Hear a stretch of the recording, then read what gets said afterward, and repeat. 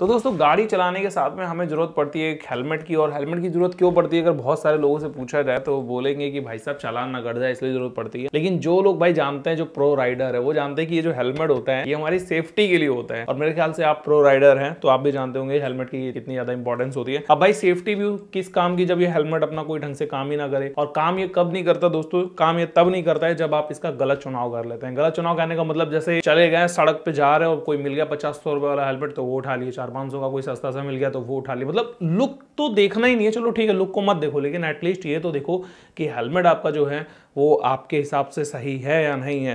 अब आप कहोगे कैसे? तो भैया, जब जीन्स लेने जाते हो तो क्या आप कभी 28 नंबर की जीन्स लाए हो? कभी 32 नंबर की जीन्स लाए हो? जो आपको फिट पड़ती है वही तो लाते हो, चाहे वो अट्ठाईस हो, बत्तीस हो, तीस हो, चौतीस हो, कोई भी हो। तो हेलमेट को भी खरीदने से पहले यार, एक बार ना मेजर करना बहुत ज़्यादा ज़रूरी है। आप में से जिन लोगों को नहीं पता कि हेलमेट को मेजर किया जाता है तो हाँ भाई साहब हेलमेट का जो साइज़ होता है हमारे सर के हिसाब से बना होता है। देखो, होता क्या है कि हेलमेट तो जनरली सेम साइज़ के बनाए जाते हैं, लेकिन जो इसके अंदर की पैडिंग होती है ना, ये जिसको हम कुशन बोलते हैं तो ये थोड़ी ज़्यादा कर देंगे। तो होगा क्या कि वो आपके छोटे सर में आएगा और अगर इसको थोड़ा कम कर दिया जाएगा या हेलमेट का साइज़ ही बढ़ा दिया जाएगा तो ये जो होता है, वो बड़े सर के लिए कंफर्टेबल हो जाता है। तो कोई भी हेलमेट परचेज करने से पहले ना, उसको एक बार मेजर कर लेना। और देखो, सबसे बड़ी बात, जैसे अगर किसी कंपनी के हेलमेट में कोई भी साइज़ ही नहीं आ रहा है, वो फ्री साइज़ है या यूनिवर्सल साइज़ है तो समझ जाओ वो कंपनी सी काट रही है आपका। इग्नोर करो भाई ऐसी कंपनियों को। अच्छी कंपनी का हेलमेट लो, जिनके हेलमेट में साइज़ वगैरह सब कुछ आता है। तो आज की इस वीडियो में दोस्तों, हम लोग बात करेंगे कि आखिर आप अपने सर का कैसे साइज़ नापे जिससे आप अपने लिए परफेक्ट हेलमेट चूज़ कर पाए। ऐसा ना हो कि हेलमेट बहुत ढीला हो हेलमेट बहुत टाइट हो। तो आपके सर का साइज़ आपको कैसे नापना है वो तो मैं आपको लास्ट में बताऊँगा लेकिन उससे पहले मैं आपको बता देता हूँ कि अगर आप कोई लूज हेलमेट या फिर कोई टाइट हेलमेट ले लेंगे कैसे पता चलेगा कि वो आपका टाइट है या लूज है? तो देखो अगर वो टाइट होगा तो, तो आपके सर में नहीं आएगा तो आपको पता चल गया जैसे आपका सर का साइज़ बड़ा है और आप छोटा हेलमेट ले लेते हैं तो बहुत ज़्यादा टाइट पड़ेगा आपके यहाँ यहाँ पे। पेन करना शुरू कर देगा दर्द करेगा तो समझ लेना वो छोटे साइज़ का हेलमेट है। और अगर वो लूज होगा ठीक है तो उसमें कुछ चीज़ें होंगी लेकिन आपको मैं आज बताऊँगा परफेक्ट हेलमेट की बातें जो एकदम परफेक्ट हेलमेट में होती है। जैसे कि ये मेरे साइज़ का है तो मैं आपको इसको लगा के दिखाता हूँ एक बारी। तो दोस्तों, यहाँ पर तो ये जो लगा हुआ है, आप इसको इग्नोर करें, क्योंकि ये मैंने अपने कैमरे के लिए लगा रखा है। देखो, मैं आपको बताता हूँ जो परफेक्ट हेलमेट होगा, पहली चीज़ तो अगर आप ऐसे ऐसे करेंगे तो आपके सर से बिल्कुल भी ढीला नहीं होगा, दूसरी चीज़ वो ऐसे ऐसे भी नहीं होगा। अब जैसे यही चीज़ अगर लूज होती तो ये ना ऐसे ऐसे करती ऊपर नीचे के लिए, है ना? बिल्कुल भी लूज नहीं होनी चाहिए, एकदम टाइट होनी चाहिए फिट होनी चाहिए, फिर आपके यहाँ पे कहीं पर भी पेन नहीं करना चाहिए। अगर आप ऐसे ऐसे कर रहे हो तो ये बिल्कुल भी ढीला ना हो। अपने आप से इधर ना चला जाए, उधर ना जाए, ये चीज़ों का ध्यान रखना है। दूसरी चीज़, वो आपको सही से फुल प्रोटेक्ट कर रहा है कि नहीं कर रहा है, आपका जो चिन्ह है वो कंप्लीट ढक रहा है कि नहीं ढक रहा है। और आप ऐसे ऐसे करके देख सकते हो, अगर वो जरा सा भी अपनी पोजिशन से हिल नहीं रहा है, ठीक है, तभी वो एक परफेक्ट हेलमेट है। तो ये सारी चीज़ें हैं, इससे पता चल जाता है कि हेलमेट फिट है कि नहीं है। अब देखो, इसको लॉक करते समय, जब आप लॉक करें या नहीं करें, फिर भी हेलमेट जो है, एकदम परफेक्ट होना चाहिए।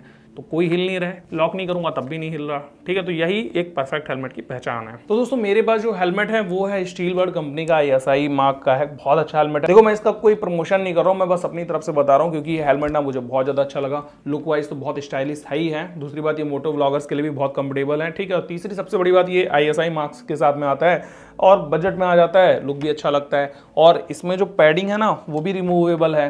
सबसे बड़ी बात ये कि इनकी कंपनी के ना सारे साइज़ के हेलमेट अवेलेबल हैं। चाहे आप वो एम साइज़ की बात करो एल साइज़ की बात करो एक्सएल अगर आपका सर पड़ता है, काफ़ी बड़ा वाला सर है तो भी आप जो है परचेज कर सकते हैं।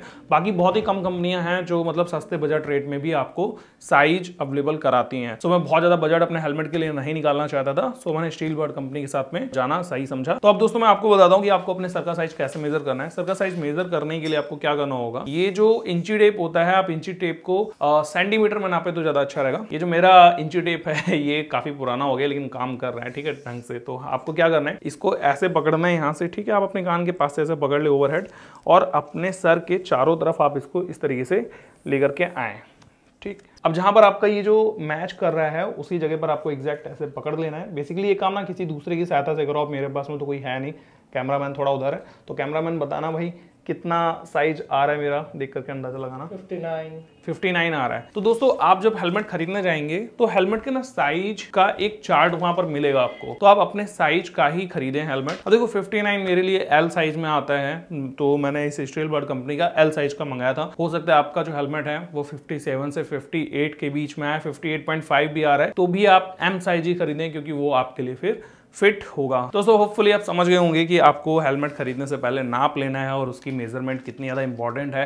हेलमेट नापना इसलिए भी ज़रूरी हो जाता है क्योंकि कभी भी भगवान ना करे, अगर कभी कोई झटका लग जाए, चोट लग जाए तो जो शॉक होगा वो दोस्तों आपके हेड पे डायरेक्टली नहीं आएगा, वो हेलमेट में जाएगा। अगर हेलमेट ढीला होगा तो वो शॉक हेलमेट जो है उतनी ही तेज़ी से आपके सर में भेज देगा तो आपको फिर कभी हेलमेट लगाने का कोई फ़ायदा ही नहीं मिलेगा। सो दैट हेलमेट को बहुत ध्यान से लगाएँ और लगाने के लिए आपको जो है साइज़ का ही खरीदना चाहिए। आशा करो तो आप सबको समझ गए तो मिलते हैं आपसे अगली वीडियो में। तब तक के लिए गुड बाय टेक केयर अपना ख्याल रखिए। और अगर आप इस हेलमेट को खरीदना चाहते हैं तो लिंक डिस्क्रिप्शन में वहाँ से जाकर के आप परचेज कर सकते हैं।